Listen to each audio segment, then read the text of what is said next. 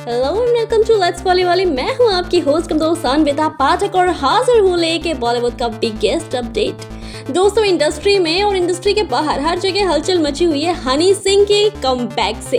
और वाकई क्या कम किया है? मात्र दो घंटे में 3.8 मिलियन व्यूज़ और 20 मिलियन व्यूज़ अभी तक ये गाना पार कर चुका है। आगे न जाने क्या क्या तबाही मचाने जा रहा है।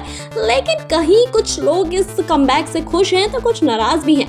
बताएँगे इस वीडियो में पूरा डिटेल लेकिन इससे पहले वीडियो को लाइक कर लीजिए। अगर आप चैनल पर नए हैं तो जल्दी से इसको सब्सक्राइब कर लीजिए। दोस्तों, साल 2014 में हनी सिंह का देसी कलाकार गाना आया था, जिसे फैंस ने बहुत ज़्यादा प्यार दिया था। इसमें उनके साथ हमें नज़र आई थी सोनाक्षी सिन्हा। और अब पूरे नौ साल बाद इस जोड़ी ने कम किया है इस गाने के सेकेंड वर्जन या सेकेंड पार्ट से, जिसका नाम है कला स्टार। यानी कलाकार का अपग्रेडेड वर्जन कला स्टार। इस गाने में पुराने गाने की स्टोरी को ही आगे बढ़ाया गया है।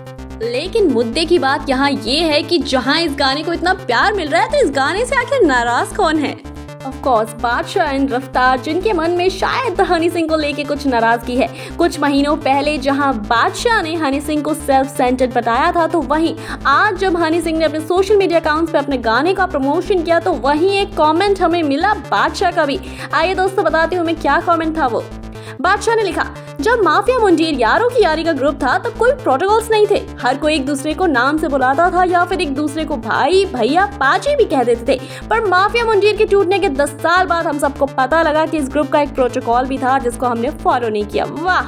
वैसे ऐसा कम किस मतलब का, जिसमें आपको दूसरों से लिरिक्स लिखवाने पड़ जाए? तो इस कमेंट से हमें साफ़ पता चल रहा है कि बादशाह हनी सिंह के कम से उतने खुश नहीं है।